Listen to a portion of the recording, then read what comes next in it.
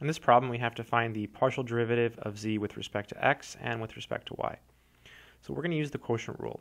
So to recall the quotient rule, here's the formula. So we have f over g, and we take the derivative.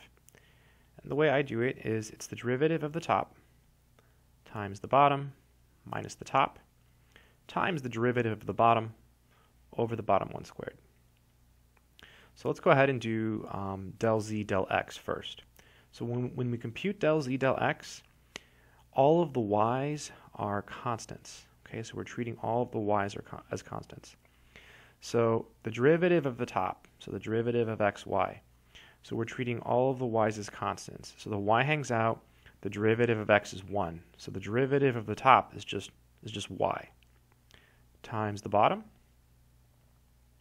x squared plus y squared, minus the top, times the derivative of the bottom. And again, we're taking the derivative with respect to x.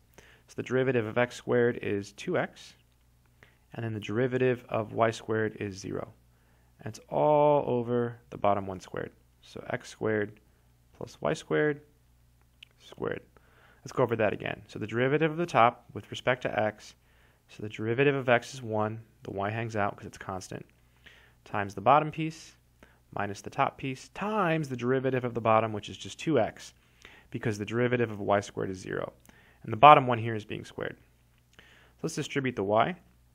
So we get yx squared plus y cubed minus, and then looks like 2, and then x times x is x squared, and then y. All of this is over x squared plus y squared squared see, does anything cancel here? Yeah, it looks like these cancel. So we have yx squared, and then we have minus 2yx squared. That's going to be minus yx squared plus y cubed. And on the bottom, we have x squared plus y squared squared. So that's the partial with respect to x. Let's do the partial with respect to um, y. So I'll do it up here. So del z del y so now all of the x's are constants, right? So we're taking the partial with respect to y, so all of the x's are constants. So the derivative of the top piece here, so the derivative of y is 1, so we just get x, because it hangs out, times the bottom, x squared plus y squared, minus the top, so xy, times the derivative of the bottom. So now the derivative of x squared will be 0, so we'll just get 2y, all over the bottom 1 squared, so x squared plus y squared, and that's all being squared.